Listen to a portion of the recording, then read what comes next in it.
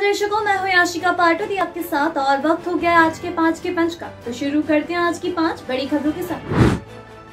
बिहार में सड़क किनारे पीपल के पेड़ के नीचे खड़े होकर पूजा कर रहे लोगों को नशे में धूत एक ट्रक ड्राइवर ने कुचल दी इसमें आठ की मौके पर ही मौत हो गई, मरने वालों में छह बच्चे हैं। ये सभी लोग पीपल के पेड़ के नीचे खड़े होकर पूजा कर रहे थे।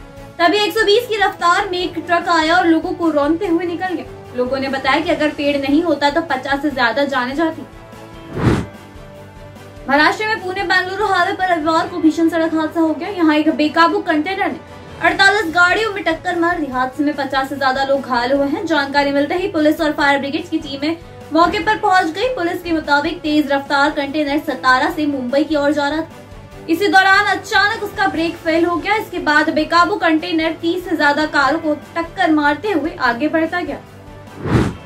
कर्नाटक के बेंगलुरु में शनिवार को एक ऑटो में हुए ब्लास्ट मामले में आरोपी की पहचान कर ली गई है। आरोपी का नाम मोहम्मद शारिक और वह चौबीस साल का है।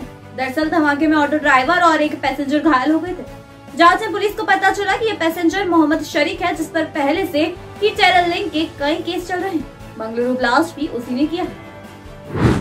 धार पुलिस ने पूर्व मंत्री उमंग सिंघार के खिलाफ घरेलू हिंसा और रेप का केस दर्ज किया है। शिकायतकर्ता अड़तीस वर्ष महिला ने पुलिस को दिया आवेदन में खुद को सिंगार की पत्नी बताया है।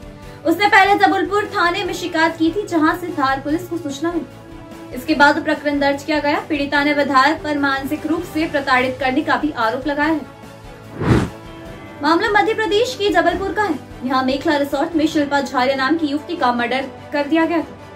आरोपी अभिजीत पाटीदार पुलिस गिरफ्त में है। शिल्पा का घर जबलपुर से 50 किमी दूर कुंडम में इक्कीस साल की शिल्पा झारिया का शव 8 नवंबर की दोपहर मेखला रिसोर्ट की कमरा नंबर पाँच में रजाई में लिपटा मिला।